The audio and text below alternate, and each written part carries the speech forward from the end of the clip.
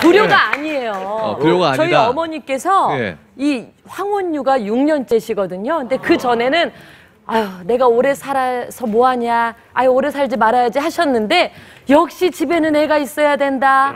애가 있으니까 웃음이 끊이질 않잖니. 뭐, 뭐 뒤집고 기고 걷고 말하고 이런 막 웃을 거리 내 투성인 거예요. 신통방통해가지고 그래서 저한테 야. 셋도 괜찮다.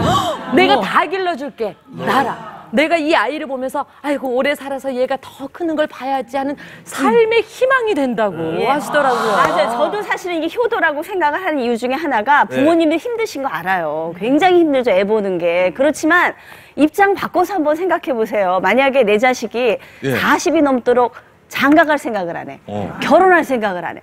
결혼을 했는데 이게 10년이 다 돼가는데 손주 보여줄 생각을 안 해. 예. 이런 분들 입장에서 생각해 보면 이게 얼마나 행복한 고민이냐고요. 저 앞줄에 계신 할아버지 할머니들 표정이 점점 안 좋아지시는 그러니까요. 거기 이런 말 있잖아요. 왜저 어른을 모셔라. 없으면 집안에 어른이 안 계시면 빌려서라도 모셔라. 어? 그, 그 그만큼 어른이 중요하듯이 예. 요새는 바뀌었어요. 손주들을 모셔라. 오. 없으면 빌려서라도 모셔라. 어. 제가 며칠 전에 생일 잔치 우리 딸이 잔치 해주겠다고 그래서 이제 나갔어요. 그랬더니 그 손주들 친구들 때문에 그 학교에 이제 반 친구라든가 뭐 이제 학원 친구들 때문에 아는 그 부부들이 다섯 쌍이 나왔어요. 그 우리 딸이 나보고 이제 야, 아버님 오셨냐 그러니까 그 사람들이 전부 나보러 아유 아버님 앉으세요 아버님 생일 축하드립니다. 이런 데서 만나면 전부 개그맨 엄영수 씨지. 예. 근데 졸지에 그 사람들이 내 아들, 딸이 됐어.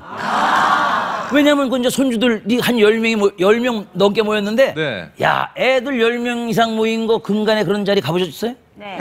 난리가 아니야. 하나는 뛰고 기고 그냥 엎으러뜨리고 뭐, 그 몸부림. 아우성 무슨 구한말 시대 말이지 청일전쟁 보듯이 그러니까 그러다가 한 놈이 무슨 맞은 거지 딴다고 산에 올라갔다가 엎어져가지고 앰뷸런스 불렀다니까 그러니까 내가 야 우리 어머니가 날 키울 때 나도 저러, 저랬겠지 그러니까 그 나, 의 과거를 보는 거예요 그뭐 때문에 손주들 때문에 아들 딸이 열 명이 생기고 이 사회적인 관계를 맺고 외연을 확대해서 이게 가족이 되고 동네 인맥이 되는 거예요. 그러니까 이 손주들이 굉장히 중요한 겁니다. 손주가 없으면 나라가 망해. 그러니까 손주들을 키워야 맡아야 돼. 무슨 얘기야? 맡아야 된다 굉장히 결국 긍정적인. 어, 결국은 얘기야? 맡으겠다는 그러면은 말씀이신데 한번 예. 찬성 반대 의견을 한번 볼게요. 네, 여러분들께서는 여러분들. 어떻게 생각하시는지. 예, 예. 어, 이 나이에 손주 맡아야 되냐? 맡아야 되나요? 말아야 되나요? 말아야 되나요? 여러분의 생각을 들어보겠습니다. 들어주십시오. 들어주시죠. 하나, 둘, 셋.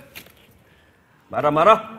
아, 맡아, 앞에 줄에서는 마라. 마타가 엄영수 씨 한 분만 계시고요. 어. 어, 다 말하라고 들어주셨고 어? 뒷줄에서는 박지훈 변호사만 범죄입니다. 범죄. 안-